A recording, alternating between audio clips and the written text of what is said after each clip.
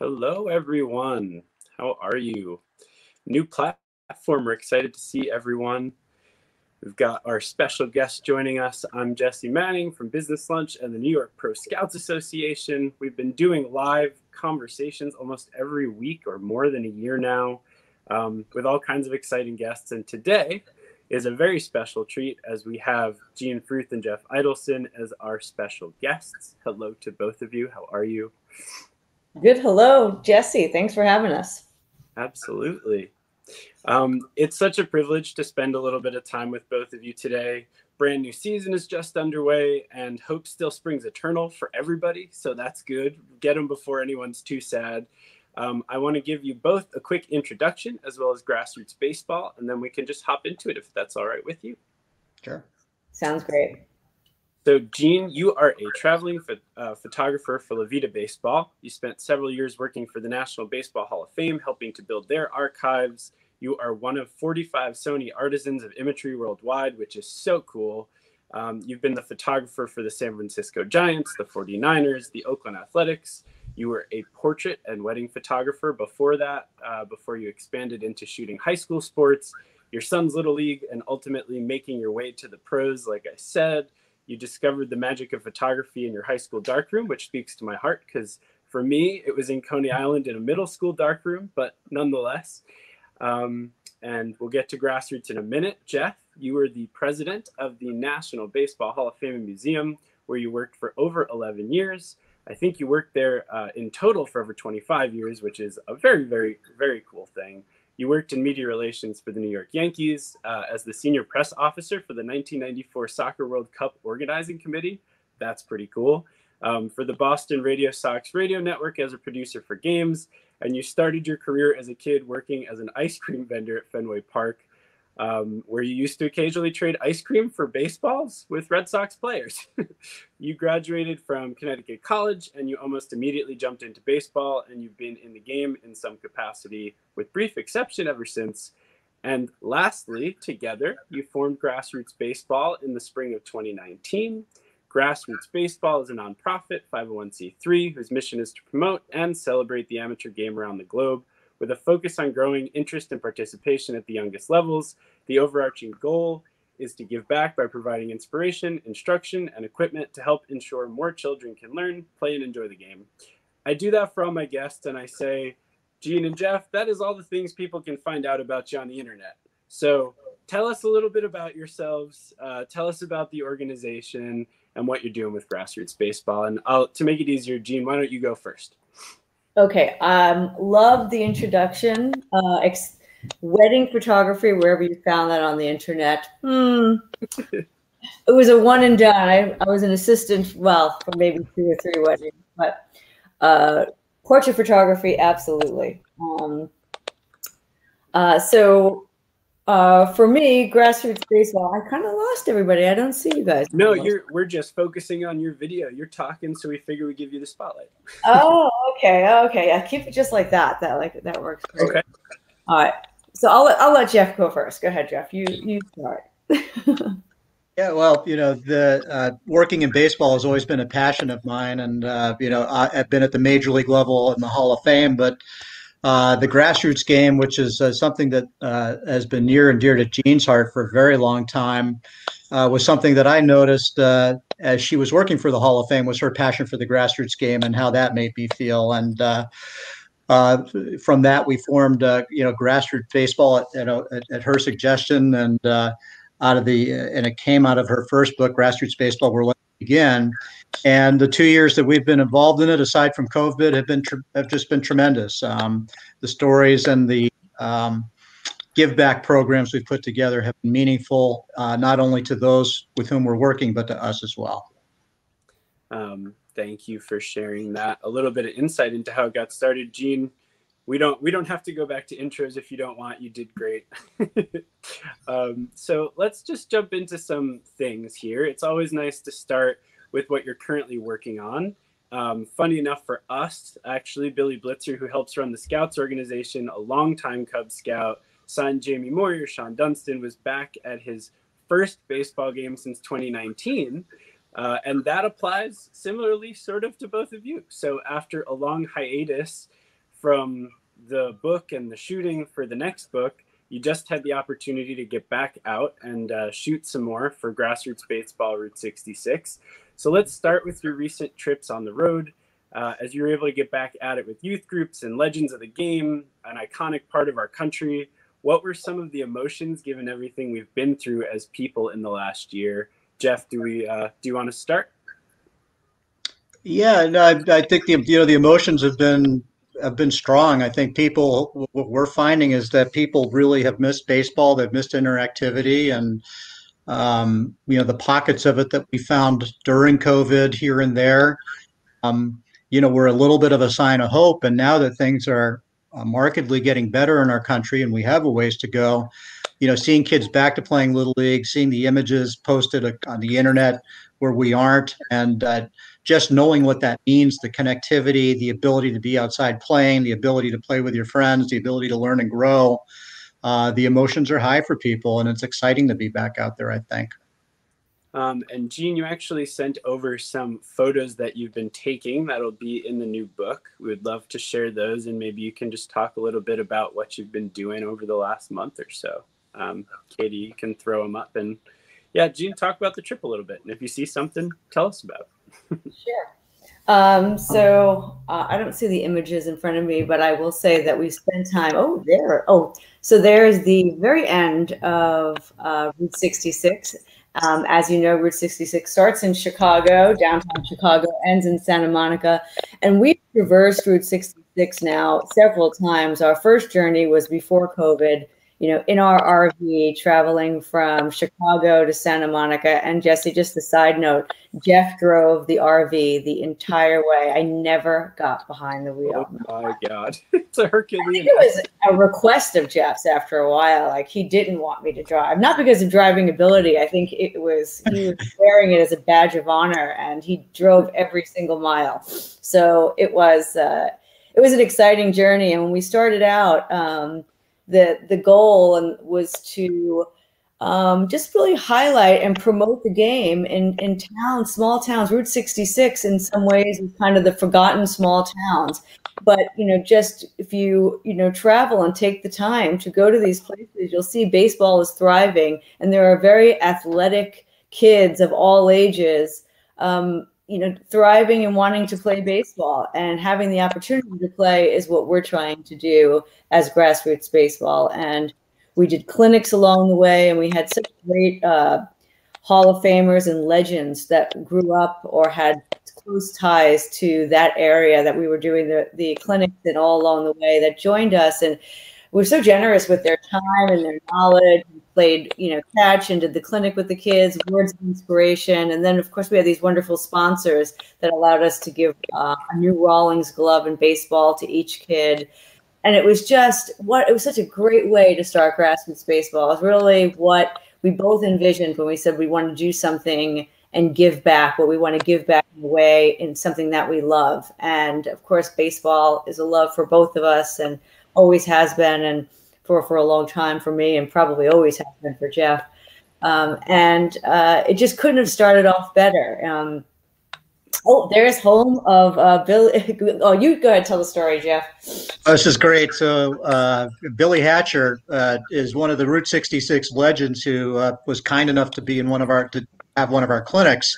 Jesse, and he grew up in uh, Williams, Arizona, which is up along Route 40, just a little bit west of Flagstaff and uh, Winslow made uh, Winslow, Arizona made you know popular through song. But uh, you know, as Billy was, we were there. He was telling us about this place, Rod Steakhouse, which this small tiny town.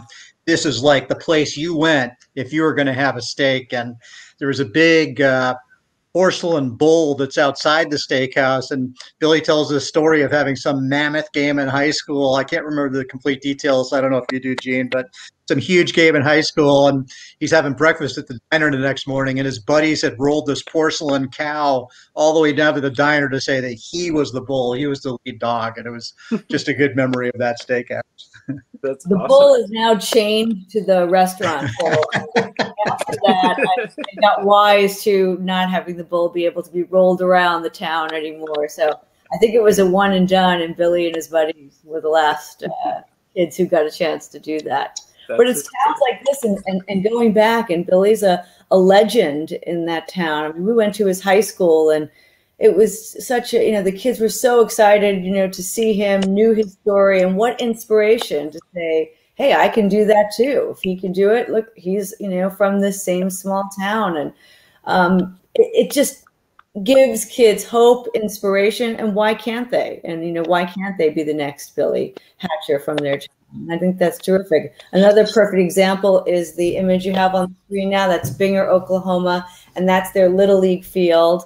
Um, and the vats you see in the back is uh, peanuts. They store. It's a it's a town that um, harvested peanuts, and um, I think, and so of course, town of Johnny Bench, um, who was kind enough. Uh, he's participating in this book. He was just so terrific at the clinics with the kids. Um, and I'll let Jeff, you know, join in a little bit more on this one. But Binger, Oklahoma, a town of 640 people today, and that's what it was when Johnny was growing up. And um, got a chance to spend some time there several times. And just recently, Jeff and I uh, were in Binger um, and photographed one of their high school games. And they play teams all along Route 66. And uh, Johnny's memories um, of those days, and then meeting the kids today, and uh, and you know, and seeing the town and what they're up against in these small towns, and the challenges that they have, you know, and in a lot of places, you know, that's there's you know poverty and and um, lack of opportunity and lack of jobs they're facing real life,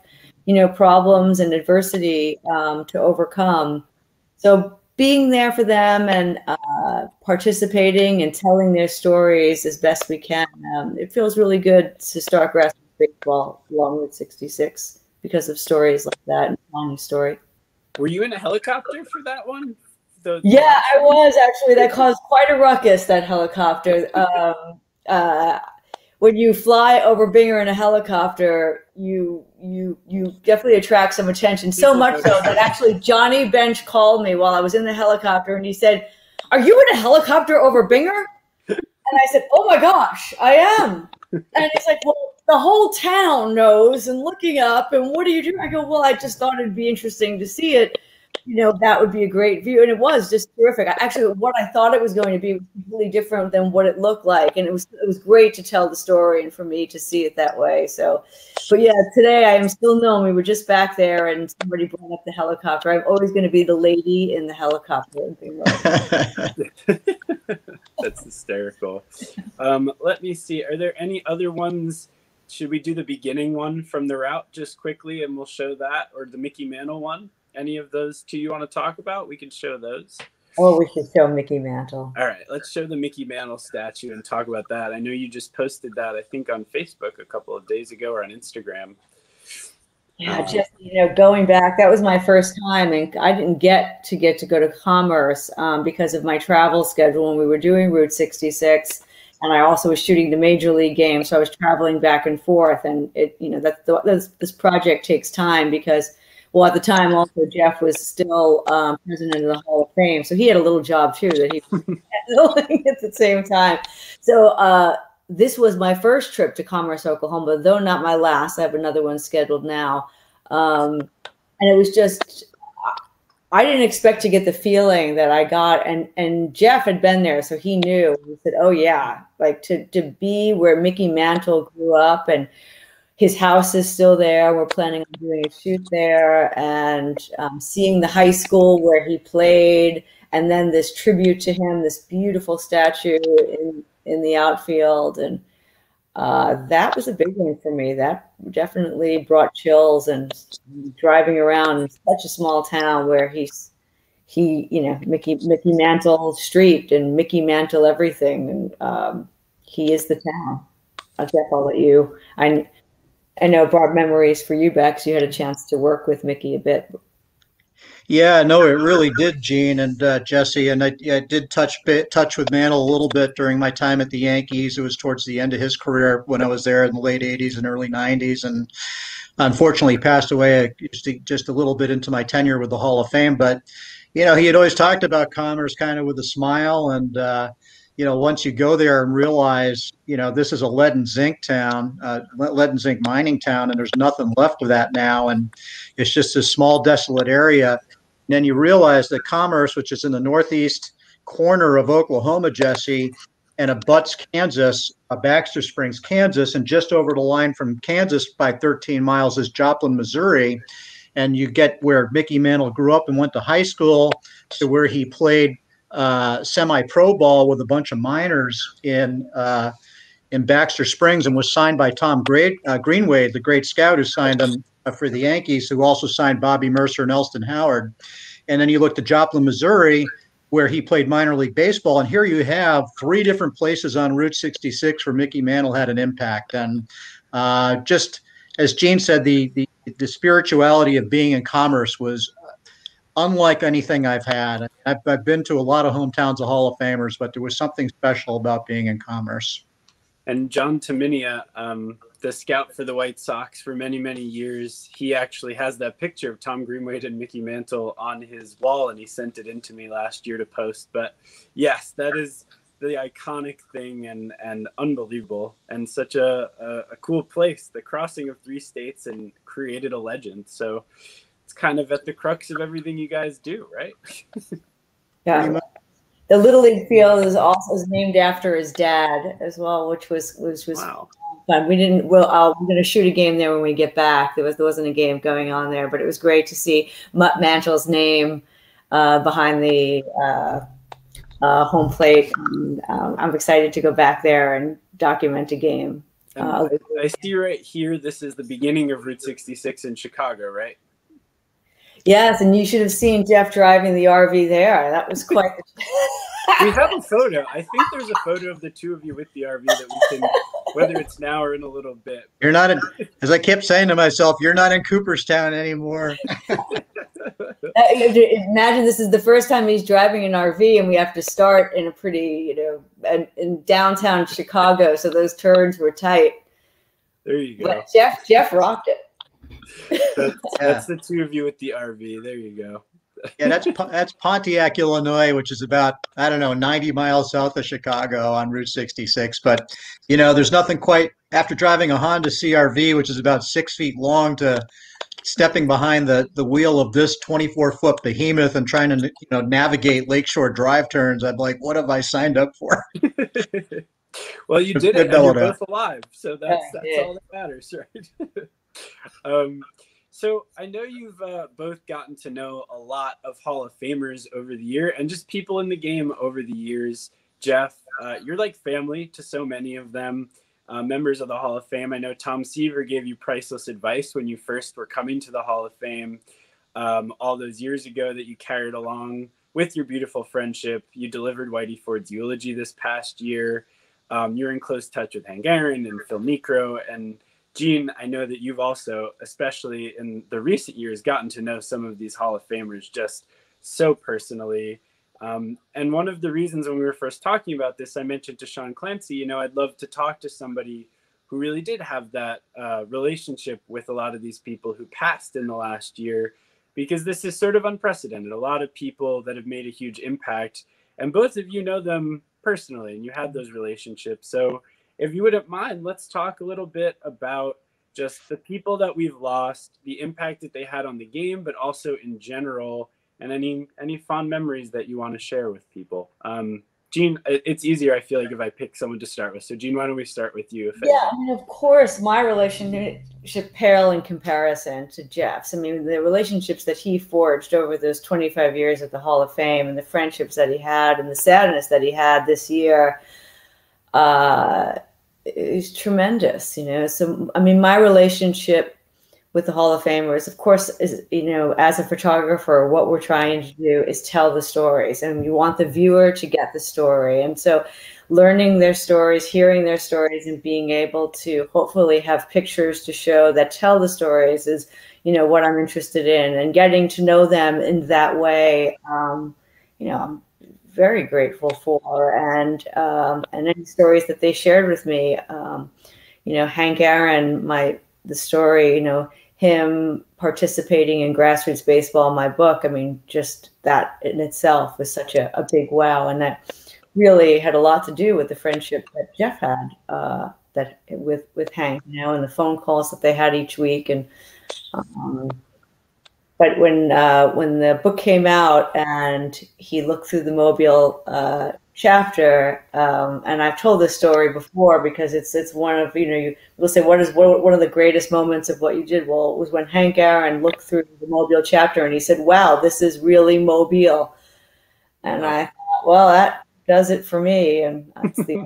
compliment. You're always trying to show your sense of place and tell your stories and so it felt great and i felt proud that i was able to represent you know hank and his childhood home in uh, in the right way. And and so the stories along the way of, of those hall of famers who passed tom seaver had the opportunity to photograph him at his home which of course is intimate in his vineyard and what he loved his second career and and just having that opportunity and the stories. And because being an artist he was very proud of his art and art was really important to him. So I was able to get a tour of his art and see an Andy Warhol painting of himself on his wall. And I think, wow, you know, that, you know, blew me away. I could have just stared at that. I was, I got so taken with it. I didn't even get a, the right image of him in front of it. And I still to this day go, oh my gosh, I was just so taken with that he had an Andy Warhol of himself in his house. So it was just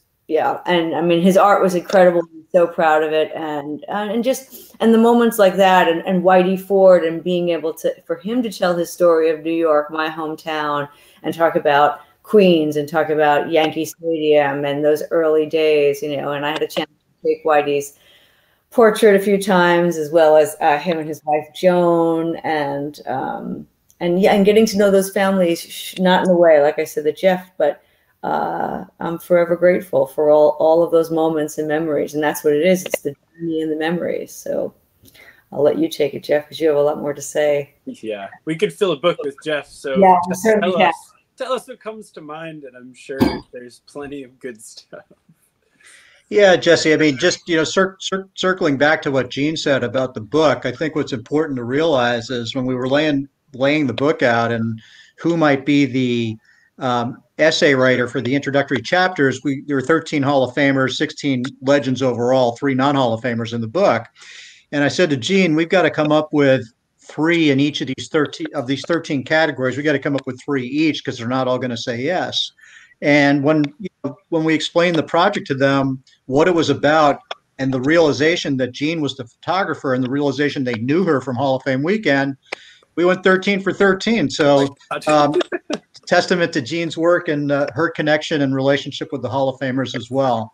Um, yeah, long time with these guys. Tom Seaver, Jim Rice, Wade Boggs. I've known 35 years. I met them, you know, when I walked in the door of uh, the clubhouse at Fenway Park in 1986. Well, not Tom Seaver because we got him at the trade deadline for Steve Lyons in one of the most lopsided trades in the history of trades, and he won four games in August down the stretch for us before he got hurt. But uh, the relationships are significant, and when you spend that much time with people, that they're only going to naturally develop. Uh, you know, Phil Niekro I often joked, uh, you know, he spent as much time in Cooperstown as I did. And in fact, one uh, New Year's Eve, I'm out shoveling my driveway and I get a tap on the shoulder and turn around and the guy says, Hey, do you have a shovel? And it's Phil. And I'm like, What are you doing here? He's like, I came in for a fundraiser, decided not to tell you. And I said, If you're not careful, you're going to have to start paying taxes here.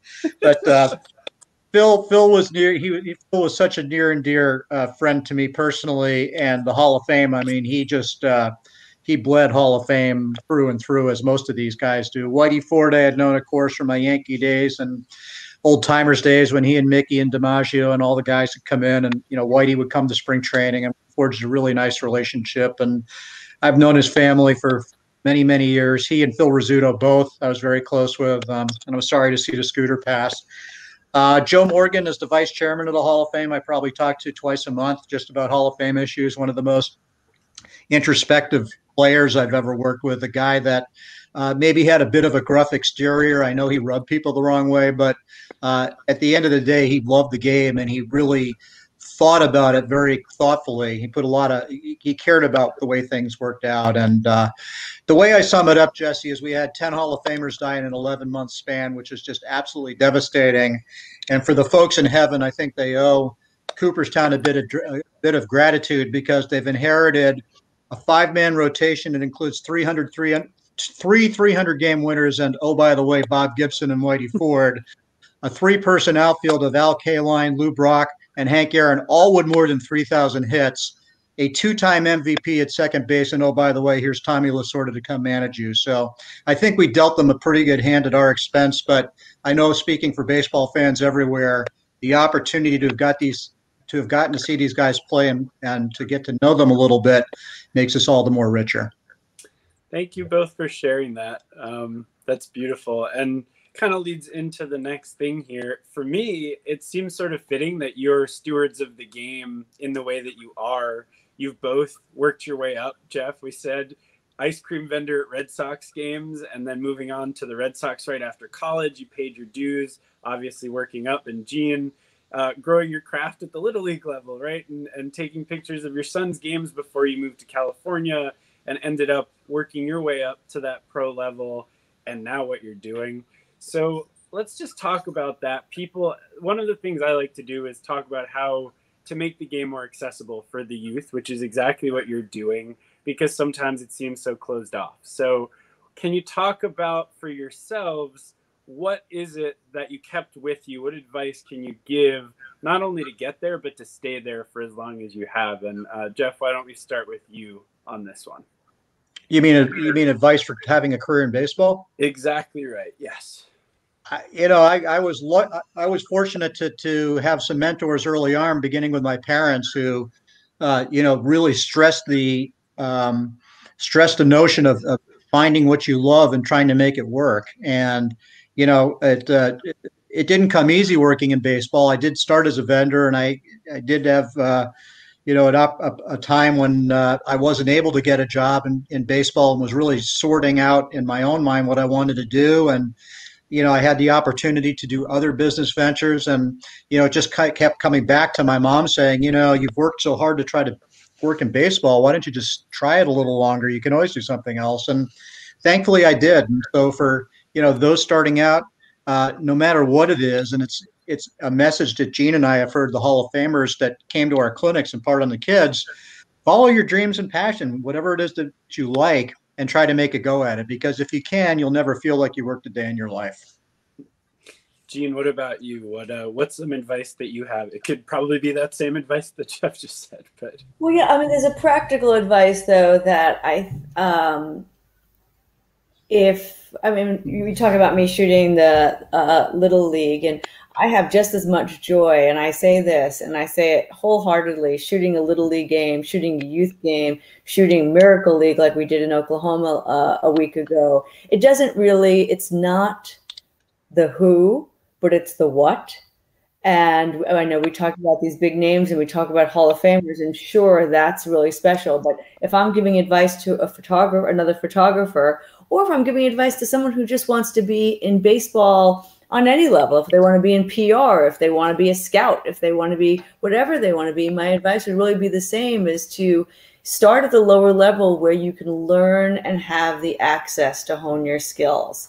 And then i really think it can come. So if you can get that job and i and i see it all the time when i shoot college games the photographer the college photographer kid will always come over to me a mm-hmm. young adult will always come over to me and chat with me you know? And it's great when we have that chat and i immediately know they're on instagram so i get my phone and say let me follow you. And it's fun to follow them and see what they're doing and there's so so much talent out there. So I'd say don't worry about the who. If you're so worried about, you know, uh, I need to be on a major league field, you know, it's kind of like, are you trying to be a rock star? Or are you trying to be great at your craft? So we don't get to just go on stage be Bruce Springsteen and play our guitar. We got to practice our guitar first before we can become right uh, Bruce Springsteen. Sorry for the '80s reference. no, uh, Bruce Springsteen's. Uh, But We're talking with the New York Pro Scouts Association. Oh, that's right. That's right. Coney Island. Let's go. Exactly. um, so yeah, for me, I think like, go to the high school field, go to the little league field, go to the college field, and and get the jobs there. Take the pictures for free if you have to, and you know become as good as you can become, and study those that came before you. So if you want to be a scout, who were the great scouts and how did they do it? If you want to be a broadcaster, well, who were the great ones and study it? And if you want to be a photographer, buy Neil Leifer's baseball book and study him. That's my advice. So I think I think you're both a very good barometer for where the game is currently at on the youth level. That's something we as an organization are very passionate about, especially here in New York City as well. Jean, through your viewfinder, I mean you're you're photographing youth level baseball all the time. Um, Jeff, for 25 years, you were stewarding the next generation of kids into Cooperstown for me and a lot of the conversations I've had, and for fans too, they hear all the time about the concern of baseball for the youth, and the kids aren't as interested in the game anymore. Where do you guys feel the game is at on the youth level as a whole? Um, Jean, I'll start with you on this one. Yeah, I, I mean, certainly kids are interested in baseball. I mean, we're out there and we see them out there playing, and you know, now as we come out of COVID carefully and we see kids getting back on the field and the smiles on their faces. Um, but you compete with a lot. You know, baseball uh, moves a little slower than other sports, and now just all youth sports are competing video games, and there's a lot of distractions and and attention spans are different than they used to be. Better or worse, I don't know, but it, it's the reality of what it is. So being able to adjust, and I think Major League Baseball is trying to figure that out and present the best game that it can present. I, I'd like to, I, I just, I hope for, that the minor leagues and the independent leagues find a strong voice. I know they've gone through a lot with missing their seasons completely with COVID, with changes in the major league game. And I worry about that with youth sports because I think that's a place where you can find fun for youths. It's a lot less expensive to go to a minor league game or an independent game than it is for a family of four to go to Yankee Stadium. And you know, just in, to buy you know hot dogs and, and soft drinks and four tickets, you know, is is a lot. So, but going to the minor league game and you can get a hot dog for a dollar sometimes, and it's all this, and they know how to make it fun and entertaining for families, for kids and I th- and, and they get to see the stars of tomorrow. At least that's the way it's supposed to be or used to be. And I just hope that we somehow get to that or get back to that. And I know minor leagues haven't started yet. I think they start May 1st, maybe. And I don't know if all of them are going to be starting and what happens to independent leagues. I haven't kept up completely with all the changes, but I, I, do think that's key in keeping our youth interested is that families need to bring the kids to see tomorrow's stars at these at these parks. It's so exciting. I mean, think of it, you got to see Francisco Lindor before he became a star, and you can say, well, I saw him in uh, you know Illinois somewhere, or you know at the Sod Poodles. Like how cool is that? You know, why he was a Sod Poodle before he was a you know whoever their stars were, and I I, I think that's a, a key component to keeping baseball interesting at the youth level. Jeff, what do you think? Yeah, I echo a lot of what Gina's saying, and we saw that along Route 66, where you know you go into these small towns and uh, that have minor league teams and uh, independent teams, or they're close to minor league teams, and there's great uh, joy in who they saw come up through the ranks. And you know, to echoing Jean's sentiments, you know, that, that, that I, I, hope there hasn't been so much of an attrition that we lose a lot of baseball fans. And the same with the draft. You know, you worry about uh, how many fewer rounds there are now than there once were. The other piece is the is the uh, you know the, the divide between the haves and the have-nots, with American Legion ball rapidly disappearing and travel ball quickly uh, accelerating. And you know, a lot of what we're doing with grassroots baseball is trying to give kids an opportunity at the very youngest level to be introduced to the game so at least they can find out if they like it. And you just hope that as they progress uh, those that like the game progress through the youth levels and get to be 11 12 13 that uh, there's a mechanism for them to continue because um, it's uh, team sports as we all know teaches many valuable lessons beyond the playing field uh, that help us in life they help us with health they help us in so many ways. And uh, you hate to see that get fractured as a result of economics. Uh, that were the reason. Uh, and then, uh, yeah, you just hope that there can be more of a, a concentration where uh, things slow down a little bit and uh, there's an acceptance and appreciation for baseball as it is. And with MLB continuing to try to finesse the game to make it uh, a bit more exciting. So I want to talk the book the first book is right behind me, and we have the cover uh, that we can share now. You've both traveled all over the world for baseball. Um, Jean, for the first book, you're in Mexico and Curacao, Japan, the Dominican Republic, the U.S., more than that. Um, for La Vida Baseball, you are all over the world covering the sport. And Jeff, as the president of the Hall of Fame, you made it your duty to meet new inductees and members of the Hall family on their home turf. So you were able to forge those lasting relationships with them that we talked about. So just talk about youth baseball throughout the world and baseball throughout the world a little bit. How does it vary? What excites you the most about what you've seen at the grassroots level? Um, I'll start with you, Jeff, on this one. Well, Jean can really speak to the grassroots level because she's done so much of it around the globe. But for me, on the major league level, and oh, you know, uh, visiting with Hall of Famers, um, you know, the, the, the reverence that these guys have still in the communities in which they grew up is, is massive.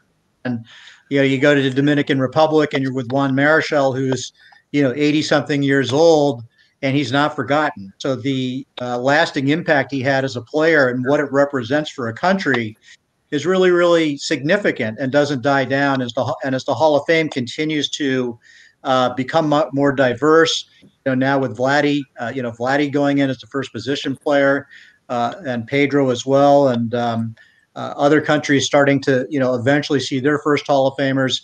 Um, I think that uh, you know, the, the game is going to just grow significantly. The appreciation for the game in, in countries outside of the U.S. will be appreciated more within the U.S and Jean, grassroots baseball around the world. What's what what are you seeing? well, for me, um, documenting the game, uh, my job is to tell the stories. And baseball looks different in different places. It's played the same, right? Same number of players, a bat and a ball, and the rules are pretty much the same. Though I do like that in a lot of the Latin American countries, or all of them, there's no shift. I'm not a big shift. I love that there's no shift.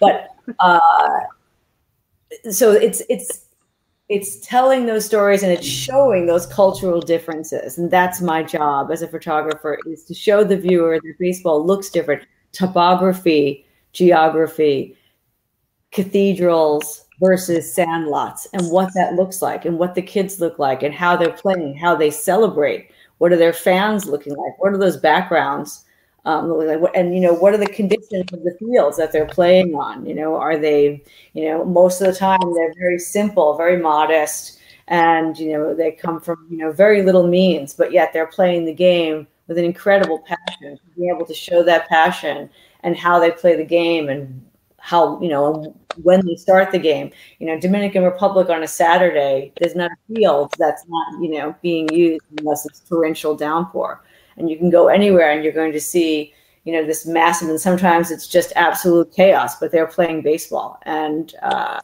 it's that's my job is to show that. And that's the excitement for me. Every time i go to a new place and it's going to be what what what what am i going to see? And i'm going to see something different. And then it's figuring out how do i tell that story and document it so i can show the world what it looks like and and take them there with me. So um, that's very exciting in places like Japan. You know, there's so so much incredible cultural differences.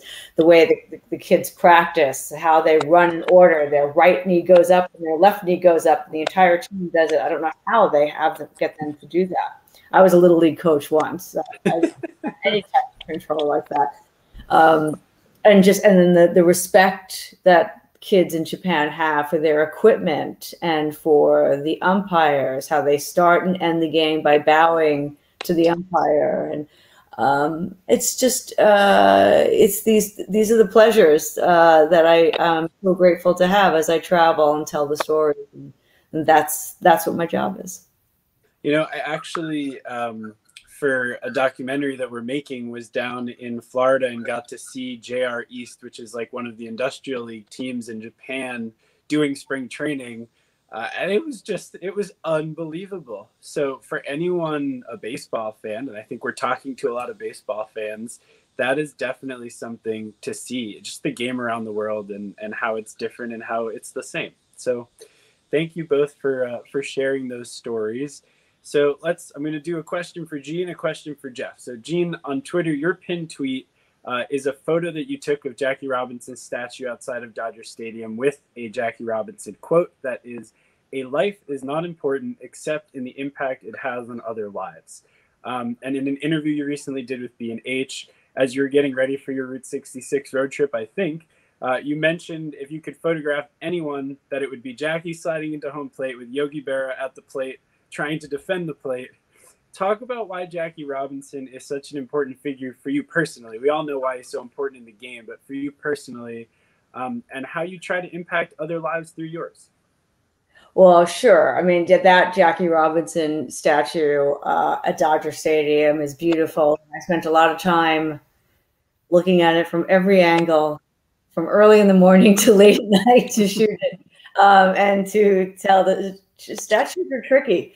Um, uh, so, and you want to um, you want to tell the story, and um, uh, I love that statue. Actually, it's it's really beautiful the way they have them sliding in. So Sure. I mean, of all the figures in baseball history and in much of American history, no one stands taller than Jackie Robinson, right? Wow. I mean, his integration of the modern game um, in the 1940s, you know, it paved the way towards equality in baseball. And I mean, to me, it's it's what you know grassroots baseball wants to do. Uh, you know, of course, we're two people, and we're certainly not Jackie Robinson, but uh, he paved the way for equality. And if we can, uh, as a small grassroots baseball, and we're growing and we're hopeful for our future, and that's what we want to do is help pave the way for equality for kids who are not able to play the game because they don't have a glove or they don't have the opportunity or they've never been introduced to it. If we can do that and have an impact like that famous quote, a life is not important except for the impact it has on other lives. Isn't that so true, right? What inspiration.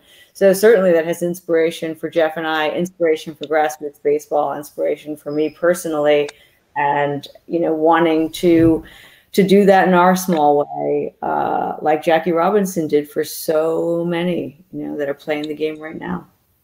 And I'm sure one or maybe both of you have had the chance, I would think, to meet his wife, who's 98 years old, amazing, or his daughter.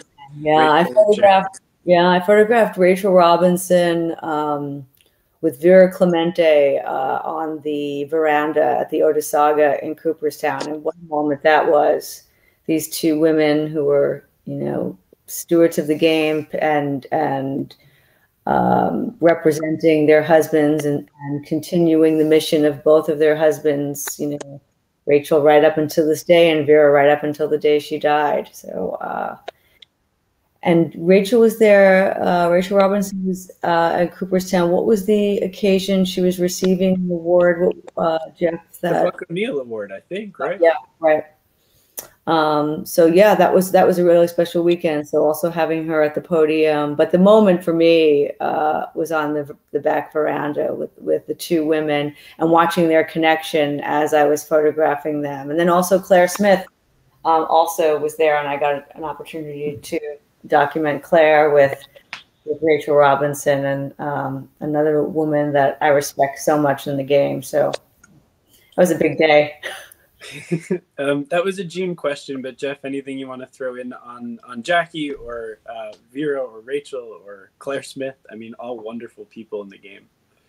Yeah, no, Jean spoke so eloquently. The only thing I would say is that with Jackie Robinson, um, the one anecdote I can, I can share is that when he was uh, being considered for the Hall of Fame for election in 1962 it, he he made it very clear to the sports writers that he had no interest in being elected for integrating the game. If he was going to be elected, it was because of his playing ability, and he was an incredible player, as we know. And you know, part of the reason, if not all the reason, he was elected.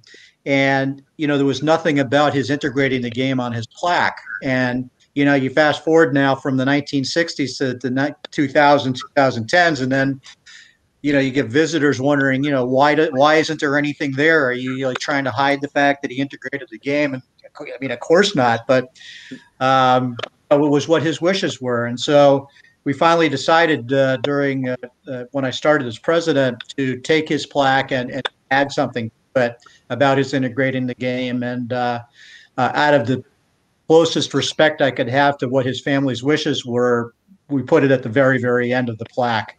Uh, also used the opportunity to put in his 19 steals of home, which I thought belonged to the plaque as well.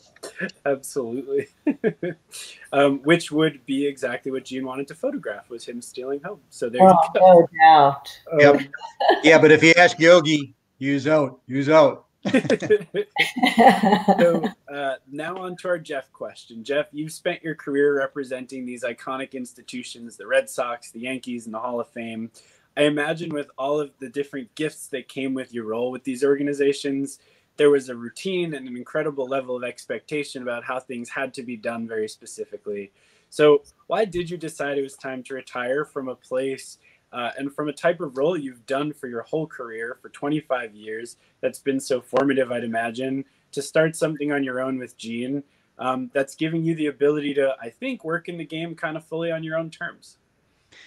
Very much so, Jesse. And uh, yeah, I you know, it's been a long time at the Hall of Fame, 33 years in baseball overall, and you know, you, you start to look at what you you know what what you've been a part of, what you've been able to do, and I felt very fortunate to have had so, so many great years at the Hall of Fame. But um, you know, it was starting to think about what might be next, and you know, when Jean worked for the Hall of Fame, I had the opportunity cross paths with her a couple times on the road where we collaborated on projects and we'd be working take the WBC in Japan you know shooting a game and, working on that. And then the next thing I know she's leaving and I'm asking her where are you going? She's well, I'm going to a little league game. Where else would I be going? Or if we're in another kind of left you know we're in, in, the Dominican you know I call her. I'm like are you you know are you here in the hotel? No I'm a, I'm across the island at a game. So I started to see her appreciation for the game and and then working on the, you know, helping her with the book, uh, Grassroots Baseball, Where Legends Begin, and tying the Hall of Famers together. And, uh, you know, she came up with the idea. She's like, what do you think about taking this book and turning it into, you know, a, a program, a not for profit program, and uh, as a way of giving back? And, you know, both of us were at a point in that life where that sounded appealing to me. And, um, I said, yeah, well, let me think about it for a minute and uh, give it some thought. And we talked about it some more. And then asked her, you know, well, how would you want to launch it? And she said, you know, well, how about Route 66? And I said, yeah, like, I think that sounds great. I mean, I'd like to think about it, maybe relax for a little bit, and then come back and do this. And she's like, yeah, take all the time you want. I think it was two days later. She's like, "Hey, I've got an RV and a few sp- sponsors lined up. When can you start?"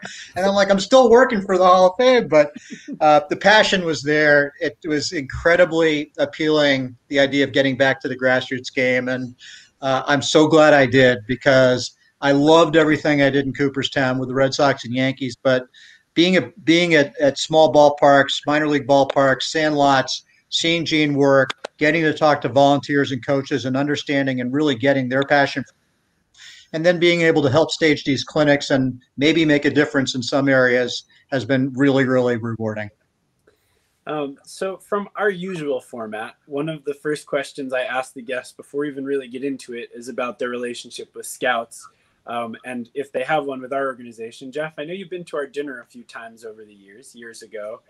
Um, so let's talk a little bit about Scouts. We're the Scouts organization. One of the things we try to do, as I said, is connect the youth uh, with people from the game and make it a little bit more accessible because it doesn't seem that way all the time. Uh, and Scouts actually feature pretty prominently within the first book. So the title is uh, Grassroots Baseball Where Legends Begin, right? there you go, where legends begin. And the scouts uh, are a huge part of that. Vlad Guerrero, Fernando Valenzuela, Whitey Ford, and some of the others actually all mention in their essays the scout that signed them, the famous scout that signed them. Talk about the relationships that you've both forged with scouts over the years, the impact that they continue to have throughout baseball. Jean with the book, Jeff, you helped create the Diamond Mine section of the Hall of Fame. And it took a long time for them to get recognition, but you helped create that so let's also talk about what role do you see scouts playing as the game continues forward. Uh, let's start with you, Jeff. Well, you know, to me, I often equate a scout with being a human resources director. I mean, if, you, if you're a scout, you're going into a high school, you're looking at kids, or maybe in, some, in a lot of cases, junior high school, and you're saying that kid is going to be the CEO of my company in seven years, eight years. That's what they're, you know, well, that's what they're banking on is there is the future ability of kids they're seeing today. It's a very difficult job to be a scout and to find those those those diamonds in the rough. And without scouts, guys like you know, Mike Piazza, who went in the you know, the 1300th pick overall, John Smoltz, who was way up there in draft as a draft pick. Um, you know, those guys aren't getting that opportunity, and it's changing. I know with the draft, but the scouts have a, are are invaluable. They they they are the human resources director. They're also the recruiting firms, if you will, that go out and, and, and are trying to recruit. So they they play an integral part of the game. They're often overlooked. They don't travel with the team. They travel alone. They're always by themselves, yet they've got this undaunting job of shaping a business. And they do it very, many of them do it very, very effectively. And as we say, they know where to eat as well. So that's why people like to hang around with them. Um, Jean, what about yourself? What's your experience meeting scouts or just talking to players about the scout that signed them over the years? Yeah, I mean, for me, um, scouts are forever present. You know, wherever. I mean, like you say in the book, um, being uh, at the Cape Cod League, um, and scouts are forever present. You know, as a photographer, I'm doing my job; they're doing their job, and you know, at first when I was out and about, I really didn't know what they were doing. I mean, I didn't really understand that part of the game so much, and then our paths crossed so frequently, you know, and you'd see the same guy and and in, in some ways it's um, it's very similar as a photographer. I mean, these guys who are at the level of you know scouting the Cape Cod League. I was um, for the book. I was also in Tampa shooting. Um, uh, what is the name of the tournament, Jeff? That Wade Boggs. Yeah, the Tony Saladino. Sorry, Tony. Uh, Tony Saladino tournament. I would, and uh, at this high school tournament, there was probably at one of the games, you know, maybe 25 scouts, and Tony Saladino feeds all those scouts at, at his tournament. You know, he takes care of those scouts. He knows how important they are. He knows how hard they work, and you just see the travel that they do and how hard they work. You know, to find that right guy and and um, and they're journeymen, really. And I'm, i was in the Dominican Republic so many times. And of course, we all end up at the same hotel. And we all end up at the same hotel bar, really, because like at the end of the night, I'm back and I'm exhausted. And the only place I'm eating is at the bar. I'm not going anywhere else. I got to download images and I've got to maybe get up for a sunrise. So, and sure enough, you know, when I go in there to eat, I mean, I can see the scouts a mile away. Like I know who like they are. I'm like, oh, there's that guy. There's you know, and they're always around, you know, and they're always. I, love how hard you know that they work and seeing them everywhere and the travel that they have to do and you know so our conversations are a lot of where are you going next and i'll have a lot of you know conversations on social media with a lot of them and just staying in touch with them and you know knowing I guess I just have an appreciation for how hard their job is and, and what a journey it is. And you can also tell they're they're lifers, you know, they're just like me, you know, I'm going to be this little old lady and I'm going to be out in the Dominican Republic because it's what I love. So I'm going to just keep doing it until someone says you can't do it anymore. Um, and I just feel like I, I, that's the same way with these scouts. I feel like there's a love of the game and and they, they, like photographers, they're going through, of course, many changes because you know what a scout used to do and what a scout is doing now. And I don't at all pretend to know their job, but I do know how analytics has changed so much of the game for them. And, you know, so much of the game has changed for us in many ways uh, as photographers. And, and you have to adjust and, and, and figure it out. But uh, nothing brings me more pleasure than seeing them. And, you know, I was in Mexico when I was shooting for the book, and there is the famous Mike Brito in his, uh, you know, shirt and the, the hat and his cigar and he's with his radar gun. And i'm like there he is behind dodger stadium. And now i was maybe in uh, obregon or culiacan i forgot what town i was. And you know there he is doing his thing in mexico and and still doing his job. And how cool is it? So um, great respect i have and um, watching their journey that's that's awesome. Um, we've just got, I think, a few minutes left. So normally we do rapid fire, we do baseball cards. Today I'm doing the format a little bit different. So I think we're gonna do show and tell today. So I brought a couple of items myself to quickly show you, and then if there's anything that you both have from your your travels. So the first one here, a, a one that made me think of Eugene. So I know you shot the uh, Cleveland Cubs World Series the historic World Series this is a ball. I was in the camera well. I was the year before. Kyle Schwarber was in the outfield. There we go. Um, and right in between the innings, about the eighth inning, I was sitting in the camera well during the game, and he missed the cutoff man, and he threw the ball. It bounced and it hit me in the head, and I was fine. Ridiculous, obviously. Yes, very dangerous in this camera wells, but I was fine. And he came in after the inning, and he saw me holding an ice pack on my head, and he's he's like, "Want me to sign it for you? You know, like should I sign the ball for you?" And if you're in the media, you're not allowed to do that. But I figured No. he got hit in the head. Why not get the ball signed? That's a memento. So that one made me think of you, Jeff. This dusty videotape uh, is actually from Who's on First. My friends were doing Who's on First at the Baseball Writers of America dinner in 2011. And Oh yeah, I remember that. yeah, I think that's the first time we ever talked, and so that I knew I had it somewhere, so that made me think of you. And the one I'm waiting for that I these are things I hold dear. I have lots of memorabilia, whatever. I'm sure you do, but these are things that you know. Um, we're making this documentary on Tom Giordano, longtime scout. T-Bone signed Cal Ripken Jr. and you know Manny Ramirez, all these people, and so we're making this documentary on him and his daughter Gail when he passed away just a couple years back. Uh, and he always carried this shillelagh around with him, and she's she's saving it for me for when it's done and we release it. Then I get the shillelagh. So those are things that I don't know. I thought of you guys. I thought of of something that means something to me. Do you have anything from your travels um, that you think of to tell us about? Well, with uh, the- with the short window, we did come up with one thing we actually found on our last trip, Jesse. It, were we, Jean Stroud, Oklahoma, I think. Oh, Stroud, Oklahoma. Yes, yes. Stroud. Tiny little town, Stroud. Uh, it's it's it's north of Oklahoma City, and you know we're look walking through the town and looking at different you know things that could possibly be in the book, and we come across this of like a consignment store, I guess, or a thrift shop, and Antiques, what yeah.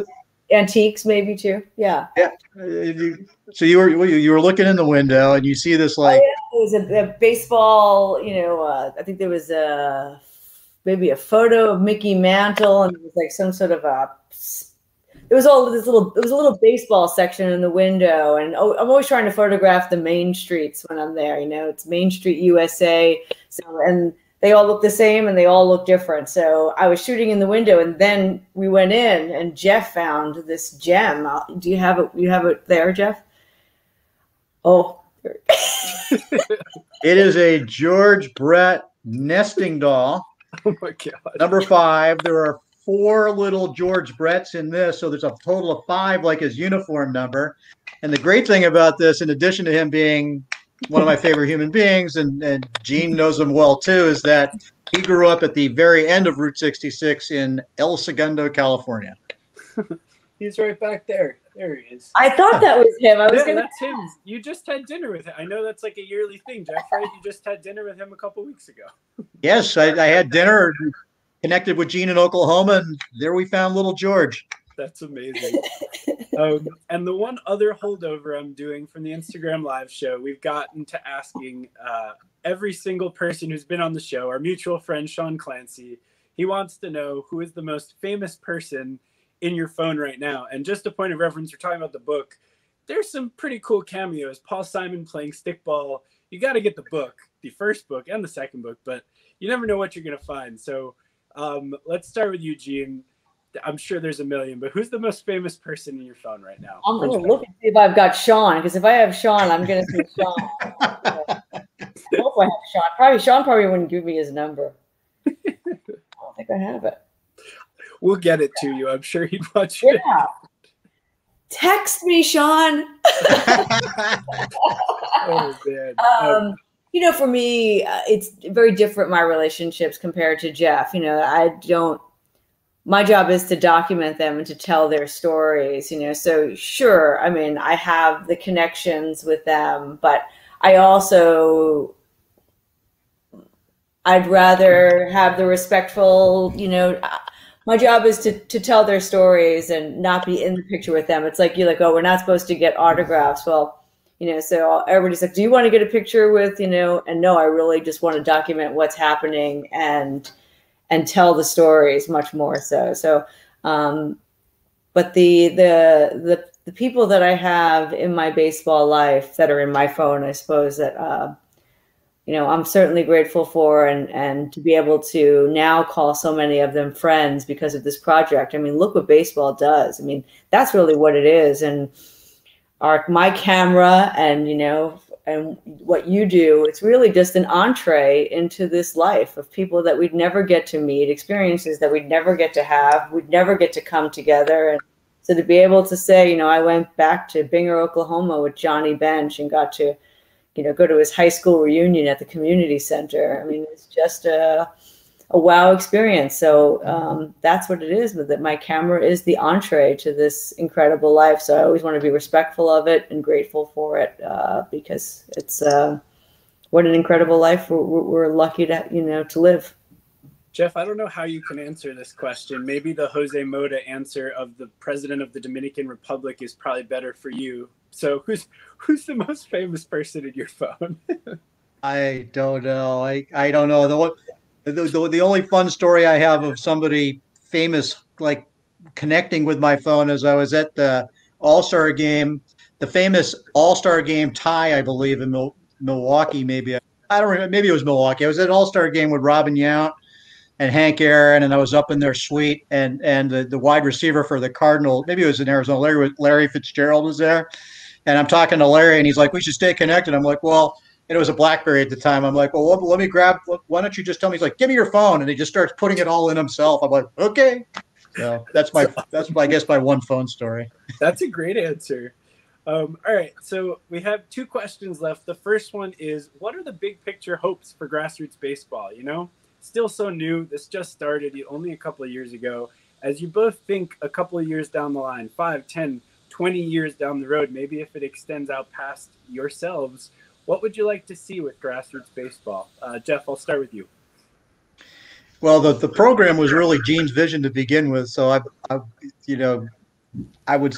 You want to start, Jean? No, no, you, yeah, we yeah, both have the vision, though. I mean, I, I okay. started, but it's not. Yeah, I mean, yeah, Jeff- no, I, I, you know, I just think the success we've had so far, what the feeling it's provided for, and seeing how kids react I think as long as I, would like to see us continue to be able to make an impact with kids who don't have that opportunity, don't know that there's the opportunity, and you know, uh, life is all about opportunity, and uh, uh, you see that over and over, and hear that over and over again from celebrities and and athletes and role models that without an opportunity, they never would have gotten to where they wanted to. And if we can continue to provide opportunity, then I think that we're doing our job well.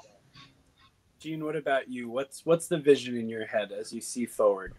Uh, for us, I mean, we're growing the program, and now uh, with COVID starting to get behind us, we I mean, we've actually made a lot of progress. You know, during COVID, getting ourselves together, becoming an official not-for-profit. Um, we did a tremendous work, amount of work on the second book.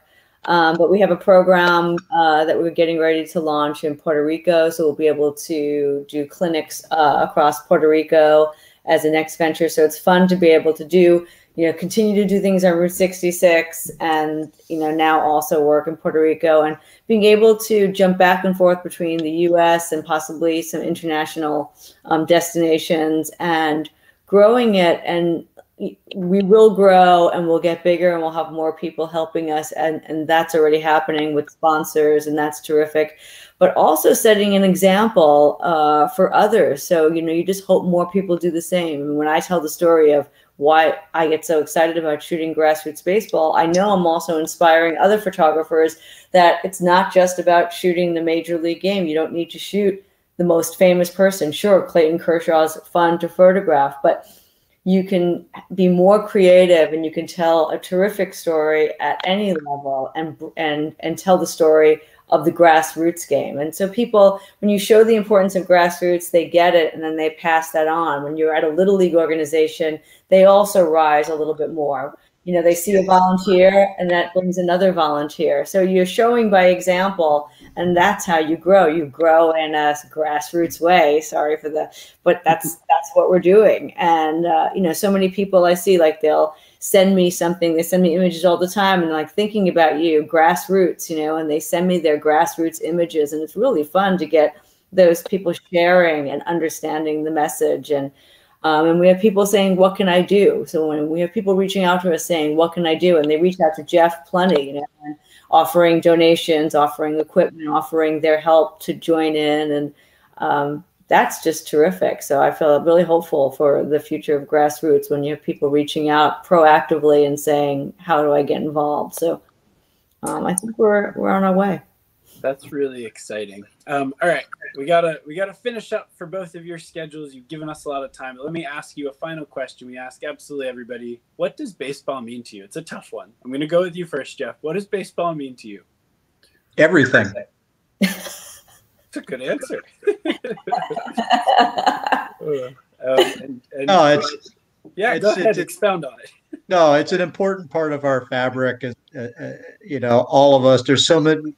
Life is so fast paced. When we come back out of COVID and we get back to the pace we're on, you can always step into baseball, sit down, score a game, and enjoy it. And uh, I don't know, baseball just uh, is something that's near and dear to my heart. And like Jean feels with the camera, I feel with a scorebook where I could be in a major league game, you know, charting pitches of Clayton Kershaw, or I could be at a T-ball game and, and just enjoying watching those kids run around just as much. Jean, what about you? What does baseball mean to you? baseball for me it means it's nostalgic it's nostalgia it's it's it is it's it's never been the action on the field for me though that sure that's exhilarating but it really just means the connection of generations and it's it brings families together it truly is america's pastime i don't want to sound so sappy with this answer but I, that's what I see, you know, on every level. You know, I see the connecting of generations. I got to see the ballpark yesterday. I was shooting uh, the Dodgers with Oakland A's and seeing fans for the first time. And I, you know, just turned around and I love seeing the families and just seeing the dad telling the story, taking the phone away from the kid, getting him to pay attention to the game. And it's, it's connecting generations. And that's what baseball does in this wonderful, nostalgic way. It brings us back to a different time when things moved a little bit slower. Um, and we're still catching it, still keeping up with it today and, and keeping it alive. And um, I think it uh, it provides you know such a such an opportunity to you know life is complicated now with COVID and everything else and, and that's going on in the world. So if you know you can have that in your life to slow things down and help connect you know a father son, a mother daughter, a mother son, whatever it is, and and keep it alive and bring the generations together. It's uh, it's an it's a it's America's pastime. it's a beautiful thing. Um, Jeff Idelson and Jean Fruth. Uh, the first book is available. People can go out and get it. Please do. It's a great gift. Uh, it's a great thing for yourselves. I got a couple of them for friends. You still have a couple left over, signed by Hall of Famers. Not that much more expensive than the book itself. And I think you did something with Sean last year or two years ago at Foley's uh, with Umps Care. So that's the first book right there. Check it out on on your website. Um, anything you want to tell anybody about uh, the next book or anything Grassroots is doing, now's a good time. You can follow. There's yeah, Grassroots Baseball. Uh, follow and check it out on the website. Jeff, anything you want people to know about the organization that you're up to? We are just continue we're just continuing to crank along. We uh, we head out to Chicago next week, and then Baxter Springs, Kansas, Jean, for opening day in that little beautiful, cool little tiny town with the of Little League there. And yeah, um, follow along, you know, and uh, you know, please reach out if you if you if you feel so inclined. But if you just follow us at Grassroots Baseball, you know, whatever your social media preference is, Facebook or Instagram, or you know, join you know, join us on our website. Um, uh, we'd love to hear from you or just follow along in the journey. Amazing. So, Jeff Idelson, Jean Fruth, I just want to say thank you, thank you, thank you so much for doing this, for taking the time out of your busy schedules and working through it. Um, this was a real good pleasure. I want to put in a plug for mascots at some point. Got to get mascots in on the action, I think. oh, yeah. There's a few mascots in the book. I, I, I'm a big fan of mascots. Yeah. I, yeah, I, I'm, I'm with you. So uh, yeah, we have, to, we have to add a few more. I agree. I'm thinking, um, thinking of, I'm thinking of getting a sod poodle for my house. The sod poodle seems to be the one to go with. so I do want to thank you both. I appreciate you doing this, and we will keep in touch and we'll keep up with what you're doing. Thank you so much. Have a really great night. Uh, thanks for your time. Jesse. Bye. Bye.